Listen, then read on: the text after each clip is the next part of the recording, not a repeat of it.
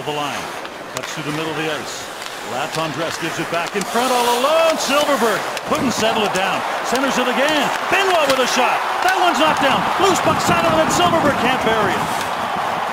Incredible luck or incredible defense by the Boston Bruins. I don't know which.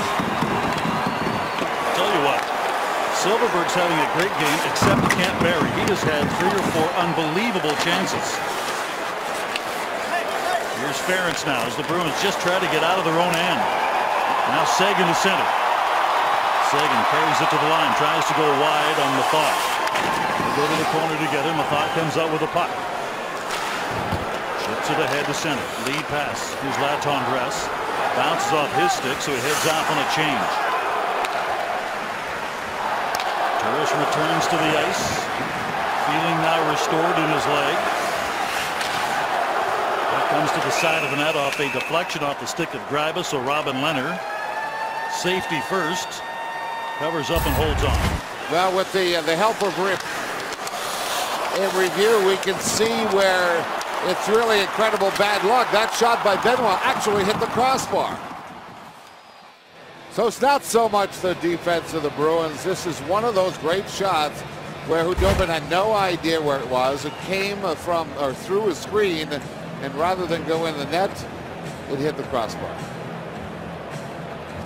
Well, they're just double checking now down in the penalty box because anything that that's close is that close.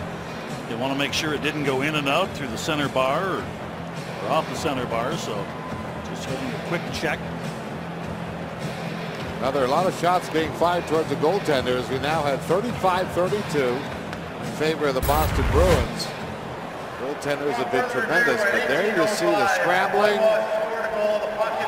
And you see that? Oh! Did it, It did. It, it went did off the center go, camera. It did go. And it is a goal. Wow. The Senators didn't even know. No one celebrated. And when they went to the first stoppage in play, they went back. And so Benoit has now scored his third goal, and he had no clue that he had scored it. Neither did anybody else. No Watch. No one even puts their hands up. They just assume it's a crossbar and play on. Not a not a stick goes in the air, and the officials go back and look at it. Now they have to set the clock back. So a retroactive smile for Benoit as he ties this game up at two. Wow. Here's Chara now loses the puck, but on the turnaround, the shot is tipped away.